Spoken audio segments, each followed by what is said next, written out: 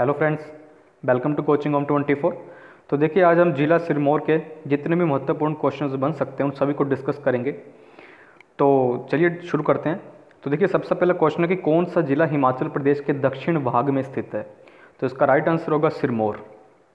Next question देखते हैं। कौन सी नदी हिमाचल प्रदेश के जिला सिरमौर को दो भागों में बांटती है? तो इसका जो राइट आंसर होगा, भी होगा गिरी नदी। और गिरी नदी किसकी सहायक नदी है? जमुना की। ठीक?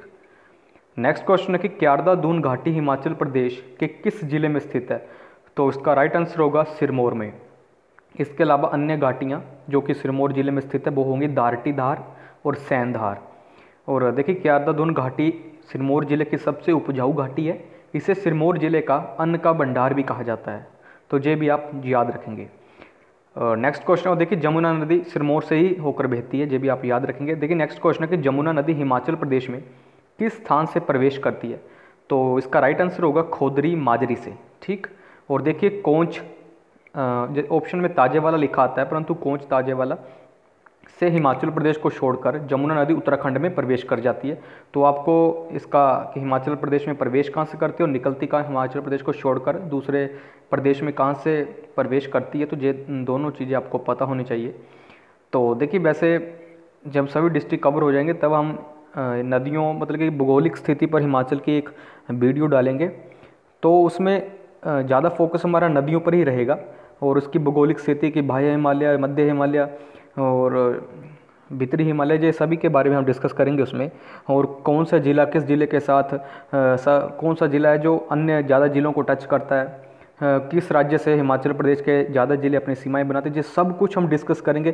कौन सा अवार्ड परशुराम अवार्ड जितने भी अवार्ड हैं कि ये अवार्ड किस किस को मिल के ये हम सब एक वीडियो लेंगे विविध कर कर, उस पर सारे क्वेश्चन हम डिस्कस करेंगे। पहले हम डिस्कस डिस्ट्रिक्ट को कवर कर लेते हैं।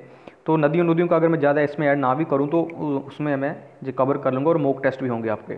तो जमुना नदी किस स्थान से प्रवेश करती है तो खोदरी माजरी से, ठीक? नेक्स्ट देखिए नेक्स्ट क्वेश्चन बहुत इंपॉर्टेंट क्वेश्चन है। गिरी नदी का उद्गम स्थल है तो आपका राइट आंसर होगा कूपर चोटी जुब्बल, ठीक?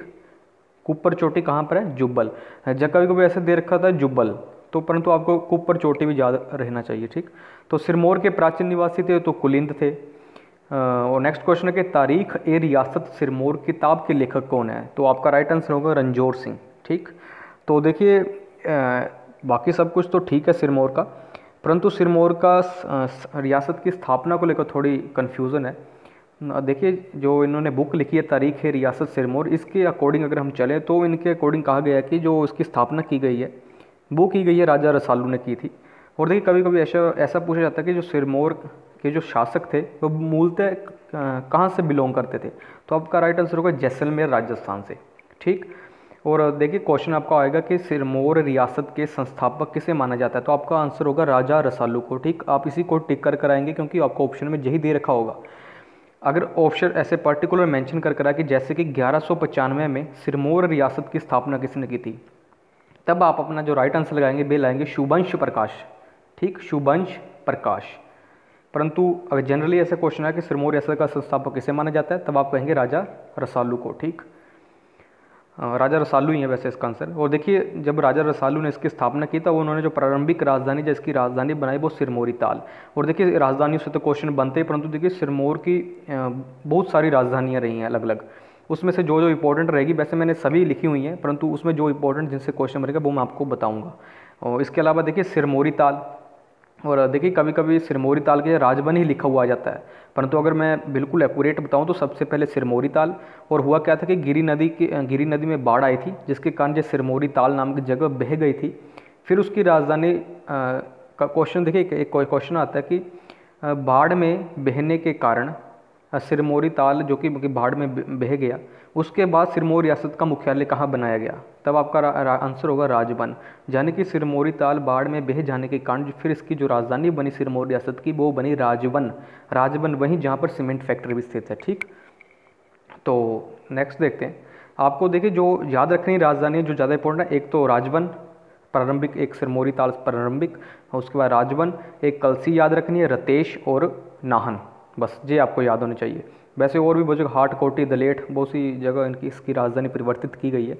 तो नेक्स्ट क्वेश्चन देखते हैं कि किस राजा ने सिरमौर की राजधानी राजवंश से कलसी स्थानांतरित की? जिस वेरी वेरी इंपॉर्टेंट क्वेश्चन कह रहा हूँ इसको मैं। एक तो राजधान, एक राजवंश से कलसी वाला क्वेश्चन एक होगा कलसी से नाहन ये दो क्वेश्चन बहुत इंपॉर्टेंट रहेंगे, ठीक?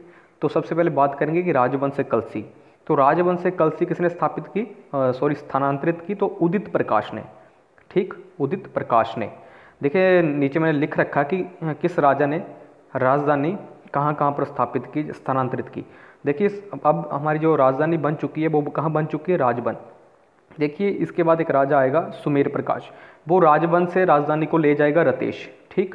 फिर उसके बाद एक और राजा आएगा, सूरज प्रकाश। वो सिरमौर रियासत की राजधानी ले जाएगा रतेश से पुणे कलसी, ठीक? क्योंकि पहले कलसी थी सॉरी हाँ पुणे कलसी ले जाएगा क्योंकि राजवंश से कलसी हुई, फिर कलसी से रतेश रतेश से पुणे कलसी और किसके द्वारा? सूर्य प्रकाश के द्वारा। देखिए जे भी इंपॉर्टेंट नहीं है। एक तो सिर्फ़ आपको ये पता होना चाहिए कि राजधानी कौन कौन सी रही है। उनके सिर्फ़ नाम पता होना चाहिए। जो मैंने क्वेश्चन के रूप में लिखे हैं वही इंपॉर्टेंट रहेंगे कि कि राजाओं के नाम अगर, राजाओं के नाम से अगर आपका क्वेश्चन बनता है कि किसने राजधानी कहाँ स्थानांतरित की तो वो एक तो बनेगा उदित प्रकाश वाला, जो मैं जहाँ ऐड कर चुका हूँ। दूसरा बनेगा कर्म प्रकाश वाला, जिन्होंने कलसी से नाहन स्थानांतरित किए। जो दो क्वेश्चन बनेंगे। बाकी सिर्फ़ आपको इनके राजधानियों के सिर्फ़ नाम याद रखने की, सिरमौर की जे जे राजधानियाँ रह चुकी हैं। बाकी जो स्थानांतरित वाले क्वेश्चन बनेंगे, वो दो ही बनेंगे, ठीक? तो रतेश से कलसी। और देखिए, इसके बीच एक और राजा हुए हैं तो उन्होंने कलसी से हाटकोटी भी स्थानांतरित की है। उसके बाद फिर हाटकोटी से नेरी गाँव नेरी गाँव से जोगड़ी किले में, जोगड़ी से देवठल में, देवठल से पुणे कलसी में। तो जी आपको कुछ भी इसमें याद रखने वाली बात नहीं, सिर्फ़ नाम, थोड़े बहुत अगर याद आपके माइंड में रह सकते हैं, अगर तो याद कर लीजिएगा, वरना तो इसकी ज़रूरत नहीं, बस आपको जो जो मैंने बता दिया कि कराज बन रह चुकी है करतेश कलसी और नाहनजे याद रहने चाहिए सिर्फ़ आपको। और देखिए, क्वेश्चन अगला बनता है कि किसने सिरमौर रियासत की राजधानी कालसी से या कलसी से नाहन बदली, ये भी वेरी वेरी इंपॉर्टेंट क्वेश्चन एक राजवंश से कलसी, एक कलसी से नाहन, ये दो इंपॉर्टेंट क्वेश्चन होंगे। जिसने राजवंश से कलसी की वे उदित प्रकाश और फिर जिसने कलसी से नाहन बदली वो कर्म प्रकाश। तो ये आप याद देखिए नेक्स्ट क्वेश्चन है कि राविनगढ़ किला स्थित है। देखिए, राविनगढ़ रियासत भी है जो कि अब शिमला में स्थित है। शिमला के अकॉर्डिंग रियासत थी जे राविनगढ़ रियासत। परंतु पूछा रहा कि राविनगढ़ किला स्थित है तो सिरमौर में किसके द्वारा बनवाया गया वीर प्रकाश? आपको ये नहीं पता होना चाहिए कि किसके द्वारा बनवाया गया, आपको ये पता होना चाहिए कि ये किले किस डिस्ट्रिक्ट में स्थित हैं, ठीक? नेक्स्ट के बाला सुंदरी मंदिर हिमाचल प्रदेश के किस ज़िले में स्थित है? तो बाला सुंदरी मंदिर हिमाचल प्रदेश के किस ज़िले में स्थित है? तो सिरमौर में। देखिए इसे त्रिलोकनाथ मंदिर कुछ त्रिलोकनाथ मंदिर या त्रिलोकपुर मंदिर भी कभी कभी लिखा हुआ आता है। बाला सुंदरी नहीं दे रखा होता वहाँ पर तो वो भी थोड़ा आप याद रखेंगे। और इसे कुछ चौरासी घंटियों वाली माता भी कहा जाता है। हम्म, तो परंतु आपको ऐसे आएगा कि बाला सुंदरी मंदिर हिमाचल प्रदेश के किस ज़िले में स्थित है ठीक? और इसकी आपको किसने बनवाया है? दीप प्रकाश द्वारा ठीक? नेक्स्ट क्वेश्चन है कि नाहन शहर की नींव किस राजा द्वारा रखी गई? ये भी वेरी वेरी इंपॉर्टेंट क्वेश्चन है। तो किन के द्वारा रखी गई? कर्म प्रकाश। जय कर्म प्रकाश वही हैं जिन्होंने राजधानी कलसी से नाहन स्थानांतरित की। कलसी से आप वो नाहन लेकर गए और नाहन शहर की स्थापना की। ठीक? नेक्स्ट क्वेश्चन है कि गुरु गोविंद सिंह पोंटा साहिब कब आए? तो कब आए? सोलह ईस्वी में आए और सोलह ईस्वी तक वहाँ रहे। ठीक? तब राजा थे मेदिनी प्रकाश। मेदिनी प्रकाश ने जगन्नाथ मंदिर का भी निर्माण करवाया है। ये आपको याद नहीं रखना कि जगन्नाथ मंदिर का निर्माण किसने करवाया? आपको ये याद रखना कि जगन्नाथ मंदिर सिरमौर डिस्ट्रिक्ट में एक जगन्नाथ मंदिर हमने डिस्कस डिस्कस कर चुके हैं अब। एक हम बाला सुंदरी मंदिर, ठीक? नेक्स्ट एक और मंदिर, जो कि सिरमौर डिस्ट्रिक्ट में स्थित है। कटासन देवी का मंदिर स्थित है। देखिए, कटासन देवी का मंदिर कहाँ स्थित है? सिरमौर ज़िले में। किसके द्वारा बनवाया गया? जगत प्रकाश द्वारा सतारह सत्रह सौ पचासी ईस्वी में। अब हमने तीन मंदिर डिस्कस कर लिए। कौन कौन से? बाला सुंदरी मंदिर, सिरमौर डिस्ट्रिक्ट में। जगन्नाथ मंदिर, सिरमौर डिस्ट्रिक्ट में। कटासन देवी मंदिर, सिरमौर डिस्ट्रिक्ट में, ठीक? और देखते हैं।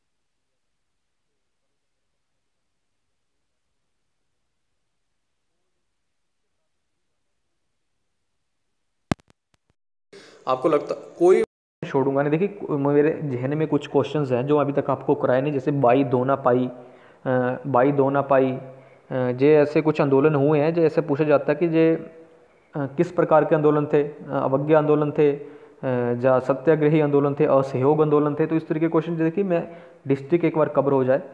फिर जितने भी क्वेश्चन मुझे लगेगा कि जब मैंने करवाए नहीं, जितने भी इंपॉर्टेंट क्वेश्चन जितने भी बन सकते हैं वो, जितने भी क्वेश्चन वो सभी को मैं ऐड करूँगा, चाहे वो नदियों से शूटे हुए क्वेश्चन हो जब कोई भी अवार्ड्स कुछ भी क्वेश्चन हो, मैं सारा कुछ ऐड करूँ, और जो वर्तमान में भी जो हमारे, वर्तमान में जो हमारा मंत्रिमंडल है, उसके बारे में मैं सारे क्वेश्चन ऐड करूँगा।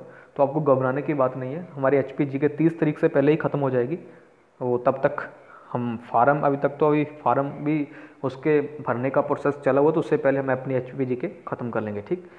तो पंजोता देखिए, पंजोता आंदोलन, किसान सम ठीक? और नेक्स्ट एक, देखिए, जो मैंने बाद में ऐड की, क्योंकि मुझे बाद में याद आया कि जो तिलोड़ धार है, सिरमौर में स्थित है, वो भी, ठीक? तिलोड़ धार। इसके अलावा मैंने क्यारदा क्यारा दून धारटी दा, धारटी और एक और थी, धारटी। वैसे में, चलो, आप देख ले, देख लेंगे खुद से। तो तिलोड़ धार भी सिरमौर में स्थित है, ठीक?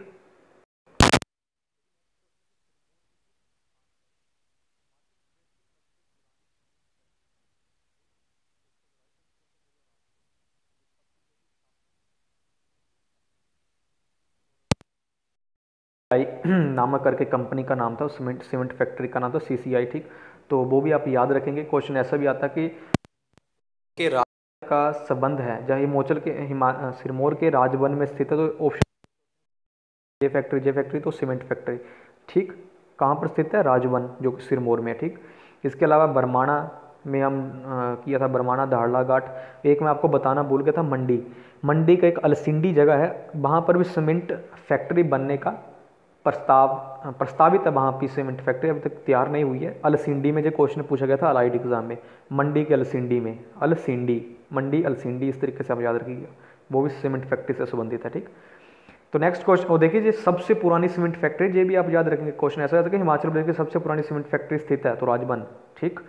नेक्स्ट क्वेश्चन है कि हिमाचल प्रदेश सरकार द्वारा सर्वप्रथम निर्मित जल विद्युत परियोजना कौन सी? है क्वेश्चन ऐसे बन सकता है कि हिमाचल प्रदेश सरकार द्वारा निर्मित सबसे पहली जल विद्युत परियोजना कौन सी है? तब आपका जो राइट परियोजना आपका राइट आंसर होगा जो कि 60 मेगावाट उसकी क्षमता है और इसका निर्माण किया गया था 1964 को आ, किया गया था नहीं शुरू हुआ था 1964 को और पूरा कब हुआ? 1966 सिक्सटी सिक्स यानी कि उन्नीस सौ चौंसठ को शुरू शुरू हुआ और उन्नीस सौ छियासठ को पूरा हुआ। और जो हिमाचल प्रदेश सरकार द्वारा, हिमाचल प्रदेश सरकार द्वारा निर्मित सबसे पुरानी जल विद्युत परियोजना है, ठीक? गिरी, और जो गिरी नदी पर ही है, ठीक? और नेक्स्ट है कि हिमाचल प्रदेश के किस ज़िले में, और गिरी नदी किसकी सहायक नदी है? जमुना की, ठीक? हिमाचल प्रदेश के किस ज़िले में सर्वाधिक अदरक उत्पादन होता है? तो आपको पता ही है, सिरमौर। अगर हिमाचल प्रदेश के संदर्भ में संदर्भ में बात करें तो हिमाचल प्रदेश का अदरक उत्पादन में भारत में दूसरा स्थान है केरल के बाद, ठीक? और हिमाचल प्रदेश का कौन सा डिस्ट्रिक्ट जो सबसे ज़्यादा अदरक की पैदावार करता है तो सिरमौर। और देखिए नेक्स्ट क्वेश्चन देखिए, ऐसे क्वेश्चन आपको कहीं मिलेंगे नहीं, परंतु जो क्वेश्चन एग्ज़ाम में आएँगे, मैं बहुत एक्स्ट्रा डोंट डोंट कर जानकारी आपके लिए लाता हूँ कि कुछ भी, कहीं से वो क्वेश्चन बनाने की सोचे। आप वो पढ़कर गए हुए होंगे, ठीक? तो नेक्स्ट क्वेश्चन कि राजगढ़ को डैश के नाम से भी जानते हैं तो राजगढ़ सिरमौर में ही है। तो इसे पिच वैली के नाम से जानते हैं। पिच मीन्स आड़ू मतलब कि किस, इसका कारण यह है कि वहाँ पर आड़ू का उत्पादन सर्वाधिक होता है। और देखिए, सिरमौर में आड़ू और स्ट्रॉबेरी, इसका उत्पादन हिमाचल प्रदेश में सर्वाधिक होता है, ठीक? वैसे देखिए, ये चेंज होता रहता है, ये आपको याद करने वाली चीज़ें नहीं होती, क्योंकि देखिए किसी वर्ष उत्पादन ज़्यादा होता है, किसी वर्ष किसी दूसरे ज़िले में इसका उत्पादन ज़्यादा हो सकता है। परंतु जो जनरली आमतौर पर पूछा जाता है कि आड़ू का सर्वाधिक उत्पादन तो सिरमौर में। वैसे जो देखिए भौगोलिक कंडीशन पर, मौसम की स्थिति पर निर्भर करता है। तो वैसे नेक्स्ट क्वेश्चन है कि हिमाचल प्रदेश की सबसे बड़ी प्राकृतिक झील कौन सी है? तो रेणुका झील, सिरमौर में स्थित है, ठीक? नेक्स्ट क्वेश्चन जो करंट अफेयर से इसे समझ लीजिए, जो भी है। तो देखिए, ये है कि धोला कुआँ में आई आई एम की स्थापना की जाएगी। अगर मैं पर्टिकुलर जगह बोलूँ तो कोल्लर कर कर कोई जगह है, कोल्लर। परंतु आपको याद रखना धोला कुआँ ठीक? धोला कुआँ में आई आई एम की स्थापना की जाएगी। एक होता आई आई टी जो कि मंडी में स्थित है। एक एन आई टी नेट जो कि हमीरपुर में स्थित है। जे है आई आई एम यानी कि इंडियन इंस्टीट्यूट ऑफ़ मैनेजमेंट कहाँ पर की जाएगी स्थापना इसकी? दोला कुआँ जो कि सिरमौर में स्थित है, ठीक? देखिए नेक्स्ट क्वेश्चन है कि सुकेती फॉसिल पार्क स्थित है तो सिरमौर में वेरी वेरी इंपॉर्टेंट क्वेश्चन जैसा जाता है कि सुकेती जीवाश्यम पार्क फॉसिल मीन क्या होता है? जीवाश्यम ठीक? तो हिमाचल प्रदेश नेक्स्ट क्वेश्चन कि हिमाचल प्रदेश में विश्वकर्मा मंदिर स्थित है तो पोंटा साई में। उससे नेक्स्ट क्वेश्चन है रेणुका किसकी जन्मस्थली है? तो ये भी इंपॉर्टेंट क्वेश्चन है। परशुराम, जैसे रिवालसर किसकी तो पदम संभव की तो ये भी आप याद रखेंगे। और देखिए, तैरते हुए टापुओं की झील रिवालसर ही है। प्राशर में भी कुछ तैरते हुए टापू पाए जाते हैं, परंतु रिवालसर नदी में ज़्यादा टापू पाए जाते हैं तैरते हुए। अगर जो जो टैग मिला है तैरते हुए टापू को जो रिवालसर नदी को मिला है, ना कि प्राशर को तो जिसमें कन्फ्यूज़ होने वाली कोई बात नहीं, जो श्योर है ठीक? और रेणुका किसकी जन्मस्थली? परशुराम। और देखिए, एक क्वेश्चन और आता है कि रेणुका रेणुका का रेणुका का परशुराम से क्या संबंध है? तो रेणुका परशुराम जी की माता जी हैं और ऋषि जमदग्नि की क्या थी? पत्नी। नेक्स्ट क्वेश्चन कि हिमाचल प्रदेश के निर्माता डॉक्टर वाई एस परमार का जन्म स्थान है तो जे बी सिरमौर में, कहाँ? बागथन। ठीक तो जे भी आप याद रखेंगे। देखिए, एक और बन सकता है दिलीप सिंह राणा, जिन्हें ग्रेट खली के नाम से जाना तो उनका कहाँ पर है? तो उनका भी सिरमौर पर ही सिरमौर में ही है, परंतु पर्टिकुलर जगह कोई दनानी कुछ ऐसे दिनान गाँव, कुछ ऐसा है तो ये आप खुद से देख लेंगे, ठीक? पर इतना याद रखेंगे कि इनका जो दिलीप सिंह राणा, इनका संबंध सिरमौर डिस्ट्रिक्ट से है, ठीक? पर्टिकुलर जगह, वैसे आपको याद करने की ज़रूरत नहीं है, ठीक? हिमालय में बहुपति प्रथा। नामक पुस्तक किसके द्वारा लिखी गई है? तो डॉक्टर वाई एस परमार द्वारा ही लिखी गई है, ठीक? क्वेश्चन वाई एस परमार से मैं सारे क्वेश्चन आपको करवा चुका हूँ कि क्वेश्चन इनसे जो भी बनते थे क्वेश्चन में, पहले जो गठन हुआ हिमाचल उस पर जो वीडियो डाले, उसमें भी मैंने क्वेश्चन को काफ़ी क्वेश्चन डिस्कस किए हुए हैं। और एक क्वेश्चन तो यही बनता कि संविधान सभा में हिमाचल का प्रतिनिधित्व किसने किया था? तो बाई एस परमार ने किया था। इन्हें ही डॉक्टर बाई एस परमार को हिमाचल प्रदेश का निर्माता कहा जाता है। इसलिए देखिए, मैंने क्वेश्चन इस तरीके से ऊपर ऐड किया कि हिमाचल प्रदेश के निर्माता, ताकि आपको ये भी पता चले कि इस, अगर ऐसा क्वेश्चन बन जाए कि हिमाचल प्रदेश के निर्माता किसे कहा जाता है डॉक्टर वाई एस परमार को, जो कि हिमाचल प्रदेश के प्रथम मुख्यमंत्री भी थे, ठीक? और देखिए, इनसे मैं एक जुड़ी और जानकारी देता हूँ कि जो सिरमौर के सेशन जज सब जज भी रह चुके हैं। तो ये भी वैसे इम्पोर्टेंट नहीं है। नेक्स्ट क्वेश्चन कि रेणुका बाँध किस नदी पर प्रस्तावित है? ये क्वेश्चन इस करके ऐड किया क्योंकि आपको लगा कि रेणुका बाँध होगा रेणुका नदी पर होगा, परंतु ये गिरी नदी पर है, ठीक? नेक्स्ट क्वेश्चन है कि चूड़ चांदनी चूड़धार पर्वतमाला सिरमौर ज़िले में स्थित है। जो क्वेश्चन नहीं, मैं आपको डिटेल बता रहा हूँ कि चूड़ चांदनी और चूड़धार और देखिए जो सिरमौर की शिमला से सीमा बनाते हैं, ठीक? सिरमौर को शिमला से अलग करते हैं। चूड़ चांदनी और चूड़दार तो जी आप याद रखें, देखिए चांसल चोटी की बात करूँ तो वो शिमला में चांसल और इसमें कन्फ्यूज़न नहीं होना जो है चूड़ चांदनी और चूड़धार। और चूड़धार ही सिरमौर की सबसे ऊँची चोटी भी है। इसकी आप ऊंचाई देख लेंगे खुद से। आई थिंक ग्यारह हज़ार आठ सौ बानवे फीट कुछ ऐसा होगा। परंतु आपको ये नहीं पता, इसकी वैसे नहीं पूछा जाता कि संख्या में कि इसकी ऊंचाई कितनी है। ऐसा ज़रूर पूछा जा सकता है कि सिरमौर की सबसे ऊँची चोटी कौन सी है। तो कौन सी है? चूड़दार नेक्स्ट क्वेश्चन है कि कहाँ पर लाइन सफारी, व प्राणी गृह, चिड़ियाघर का प्रावधान है तो रेणुका। तो ये वेरी वेरी इंपॉर्टेंट क्वेश्चन है। कहाँ पर है? रेणुका प्राणी या लॉइन सफारी। देखिए, अगर लाइन सफारी कहा जा रहा है तो इसका मतलब इसका संबंध किससे है? शेरों से। क्वेश्चन ऐसे भी आ सकता है कि शेरों के लिए, हिमाचल प्रदेश में कौन सी जगह शेरों के लिए प्रसिद्ध है? आपने कभी सुना नहीं होगा, आपको लगेगा, यार शेर हिमाचल प्रदेश में शेर कहाँ पाया जाता है? शेर कह रहे हैं ना कि टाइगर शेर। तो रेणुका लाइन सफारी। देखिए, नाम इस तरीके से मैं क्वेश्चन डाला होगी आपको पता चले, आपने पढ़ना है ऐसा रेणुका लाइन सफारी, ठीक? तो कहाँ पर स्थित है सॉरी कि ये लाइन सफारी व प्राणी की चिड़ियाघर कहाँ का प्रावधान कहाँ पर स्थित है कहाँ पर का प्रावधान कहाँ पर है? रेणुका। और रेणुका कहाँ पर है? सिरमौर में। हिमाचल प्रदेश और उत्तराखंड को मिलाने वाला पुल है जमुना पुल पोंटा साहिब में, जो कि तो आप मुझे एक क्वेश्चन का आंसर देंगे कमेंट सेक्शन में कि हिमाचल प्रदेश का सबसे लंबा पुल कौन सा है, ठीक? तो आप ज़रूर कमेंट कीजिएगा। लंबा पूछ रहा हूँ, ऊँचा तो हम कंदरौर की बात कर चुके हैं एशिया का। तो हिमाचल प्रदेश जी कर लिया। और देखिए, कुछ मैं नोट डाल रखा है, जो आपको मुझे शायद इंपॉर्टेंट ही लगता है। पहला तो इंपॉर्टेंट है कि काला अम्ब और पोंटा साहिब सिरमौर ज़िले की औद्योगिक बस्तियाँ जे ऐसा चाहे ना पूछा जाए कि सिरमौर की औद्योगिक बस्ती परंतु ऐसे क्वेश्चन आते हैं कि काला अम्ब किस ज़िले में स्थित है? क्योंकि मैंने आपको पहले बताया कि काला टोप सेंचुतुआ नाला बहुत सारे ऐसे क्वेश्चन बनते हैं, ठीक? इसके अलावा पशाद सिरमौर की कोई सिरमौर की तहसील है। चौंतरा, वो भी शायद सिर चौंतरा चौंतरा पता नहीं, सिरमौर की तहसील चौंतरा का देखिए, चौंतरा तो ये आप खुद से देख लेंगे चौंतरा बंधु जो पश्चाद है, वो भी सिरमौर की एक तहसील है और एक सिंगड़ा जो वो भी सिरमौर में वो भी आप याद रखेंगे, कालाम पोंटा साहिब ये सब सिरमौर में है। और जो सिरमौर की औद्योगिक बस्ती जो औद्योगिक क्षेत्र वो कालाम्ब और पोंटा साहिब है। नेक्स्ट क्वेश्चन है कि सिरमौर के नाहन में बिरोजा फैक्ट्री स्थित है जे भी इंपॉर्टेंट है। नाहन में बंदूक बनाने का कारखाना है जे भी इंपॉर्टेंट है। सिरमौर में चूने के पत्थर क्वेश्चन अगर आया तो आएगा चूने के पत्थर के भंडार किस ज़िले में स्थित है? बेराइट और जिप्सम का नहीं पूछा जाएगा, क्योंकि जिप्सम का क्वेश्चन बनता है सोलन के संदर्भ में कि सोलन के कुठार में सोलन का कुठार में किस खनिज की बहुतायत पाई जाती है किस धातु, जो कौन सी धातु बहुतायत में मिलती है, ठीक? सॉरी धातु नहीं होती जिप्सम। नेक्स्ट है कि परमाणु और पोंटासाई में थर्मामीटर और माइक्रोस्कोप बनाए जाते हैं। परमाणु कौन? सोलन वाला।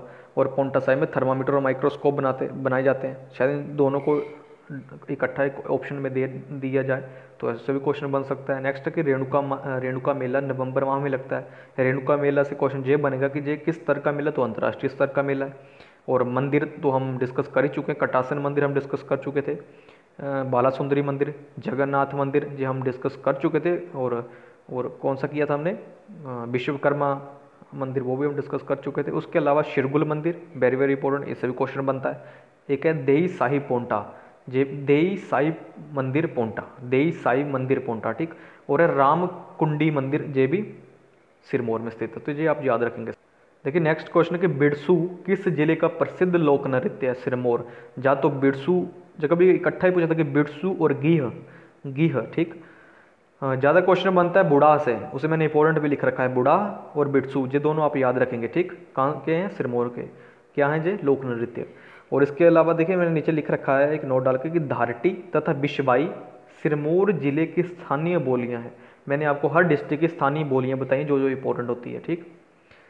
धारटी तथा बिशबाई नेक्स्ट क्वेश्चन भी very very important Simbalbara वन्य जीव बिहार, हिमाचल प्रदेश के किस ज़िले में स्थित है? तो सिरमौर। स से सिंबलवाड़ा स से सिरमौर, ठीक? परंतु स से सोलन भी होता है, परंतु देखिए, सी से सिंबलवाड़ा इस तरीके से ठीक रहेगा। सी से सिंबलवाड़ा सी से सिरमौर। नेक्स्ट क्वेश्चन है कि सिरमौर रियासती प्रजामंडल की स्थापना कब की गई? तो ये भी इंपॉर्टेंट है। देखिए, एक है सिरमौर प्रजामंडल। एक है सिरमौर रियासती प्रजामंडल। जो सिरमौर प्रजामंडल, उसकी स्थापना की गई थी 1934 ठीक? चौंतीस, जे जे चवालीस। परंतु वो नहीं पेपर में आएगा, ठीक? पेपर में अगर आया तो आएगा सिरमौर रियासती प्रजामंडल और इसके प्रमुख थे शिवानंद रामोल। ठीक? अगर नेक्स्ट क्वेश्चन बहुत इंपॉर्टेंट किंकरी देवी का संबंध किससे है? तो पर्यावरण संरक्षण से है। इन इन, इनसे रिलेटेड क्वेश्चन बहुत सारे एग्जामों में पूछा जा चुका है। आप जो शिमला से रिलेटेड है सॉरी सिरमौर से से संबंध है इनका, सिरमौर ज़िले से। और इन्हें देखिए, राष्ट्रीय पुरस्कार से सम्मानित किया गया। मैं आपको पर्टिकुलर अवार्ड का नाम बताता हूँ तो जो अवार्ड का नाम था वे था रानी लक्ष्मी बाई स्त्री स्त्री शक्ति अवार्ड ठीक है? स्त्री शक्ति पुरस्कार। वो आप याद रखेंगे। सीधा राष्ट्रीय पुरस्कार भी लिखा है तो वो भी। जैसा सकता है कि इनमें से किन किन को स्त्री शक्ति अवार्ड से सम्मानित किया गया है। स्त्री शक्ति अवार्ड से रानी लक्ष्मीबाई स्त्री शक्ति अवार्ड पुरस्कार। ठीक? और देखिए इन्हें किसके लिए दिया गया था? पर्यावरण संरक्षण। अगर मैं पर्टिकुलर बात करूँ कि पर्यावरण में भी किस इन्होंने क्या आंदोलन किया था, किसके विरुद्ध आवाज़ उठाई थी तो इन्होंने उठाई थी अवैध खनन के खिलाफ। ठीक? अवैध खनन। तो जी आप याद रखेंगे। और देखिए, हमने सब कुछ डिस्कस कर लिया। बाकी दिलीप सिंह राणा का मैंने आपको बता दिया कि सिरमौर से ही रिलेटेड है। और देखिए, इसके अलावा जटोली माता मंदिर मैं बारह माता फिर अभी भी माता ही बोले जा रहा हूँ। तो वो भगवान शिव शिव से ही रिलेटेड है। तो सो, उसको करेक्शन कर लीजिएगा। वैसे परंतु आपसे ये नहीं पूछा कि जटोली मंदिर किस देवता से रिलेटेड है। जटोली मंदिर हिमाचल का सबसे ऊँचा मंदिर है। ना कि सबसे ऊंचाई पर स्थित मंदिर जो फिर से मैं करेक्शन कर देता हूँ। तो ये सब आप याद रखेंगे, ठीक? तो अगर आपको वीडियो अच्छी लगी तो लाइक ज़रूर कीजिएगा और सब्सक्राइब करना ना भूलिएगा, क्योंकि अब हम एच पी को लगभग ख़त्म ही करने वाले हैं, सिर्फ़ एक दो डिस्ट्रिक्ट रह चुके हैं हमारे जहाँ उसके बाद एक वीडियो और डालेंगे हम। तो उसके बाद हमारा पूरी एच पी कवर हो जाएगी। उसके बाद देखिए, आगे मैं जो आपको अगर इंडियन जो भी Indian GK पढ़ाऊँगा Indian history ancient history modern history कुछ भी इकोनॉमिक्स पॉलिटी तो वो मैं इसी तरीके से पढ़ाऊँगा। और मैं आपको एक गारंटी गारंटी के साथ कहूँगा कि आपको बिल्कुल इस तरीके से पढ़ाऊँगा कि आपको एग्ज़ाम के बाद तक याद रहेगा, ठीक? कोई रट्टा मराने वाला काम नहीं रहेगा। और सीधा अगर एमसीक्यू में बीच बीच से लेकर आऊँगा तो उसका कोई फ़ायदा नहीं होगा, क्योंकि एक क्वेश्चन से अलग अलग तरह से क्वेश्चन पूछे जा सकते हैं। तो इस, अगर इस तरीके से पढ़ोगे तो ज़्यादा फ़ायदा रहेगा, ठीक? अगर आप ऐसे ही पढ़ कर जाएँगे, सिरमौर रियासती प्रजामंडल की स्थापना कब की? उन्नीस आपको बुक में ऐसे ही मिलेगा। परंतु अगर ऐसा आ जाए कि इसके प्रमुख कौन थे? तो शिवानंद मोल। तो जी, आप नहीं पढ़ कर जाएँगे तो अगर ऐसा आ जाए कि किंकरी देवी का संबंध किस ज़िले से तब आप फटाफट कर देंगे कि सिरमौर। जैसा आ सकता है चलो पर्यावरण संरक्षण। अगर हमारे पर्यावरण संरक्षण ना ही दे रखो ऐसा आ जाए कि बनों के कटान से, अवैध कटान से, कि अवैध खनन से, तब आप कंफ्यूज हो जाएँगे, क्योंकि सभी पर्यावरण से रिलेटेड ही हैं। तो इस तरीके से पढ़ने का फ़ायदा रहता है, ठीक? तो धन्यवाद दोस्तों, अगर वीडियो अच्छी लगे तो लाइक और शेयर ज़रूर कीजिएगा। मिलते हैं नेक्स्ट वीडियो में।